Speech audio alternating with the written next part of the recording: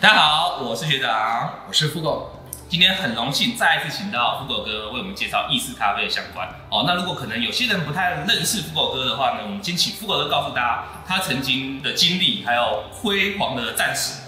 好，很多人认识我的话，可能是从这本书，因为我曾经做做过 Espresso 咖啡圣经。那我在二零零八年拿过亚洲杯最佳浓缩以及第三名的奖项，那以及在二零一零年。拿过世界杯红西式咖啡的第二名，那这是我比较拿过比较国外的奖项。哦哦，OK，所以我们今天非常荣幸，请富狗哥为我们大家聊一聊一百九十秒哈。好，那我们今天要聊什么议题呢？我们来讲意式咖啡常见的商品，怎么去认识这些呃意式咖啡的商品。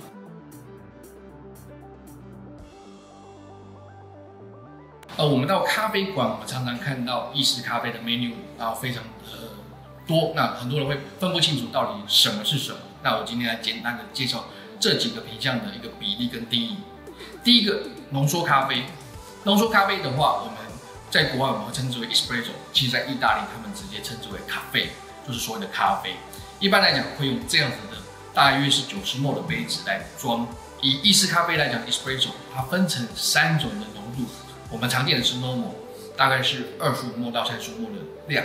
其实还有两种版本，分别是浓一点的叫做 Ristretto，淡一点的叫做 Longo。那只要这三个符合它的剂量，我们都还是把它设定为叫做浓缩咖啡。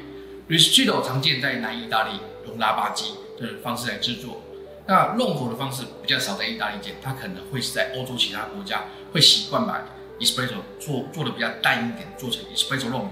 那另外的话就是 Cappuccino。根据 WVC 的定义，Cappuccino 它必须在一百五十 ml 到一百八十 ml 的杯子里面，必须含有一份的浓缩咖啡、热牛奶以及一公分厚的奶泡。那只要照这个比例来制作的话，它就可以被称之为是 Cappuccino。那我们常见的还有所谓的拿铁，那事实上完整来讲的话，应该要称之为是拿铁咖啡咖啡拿铁。那在意大利文的意思就是说，咖啡与牛奶。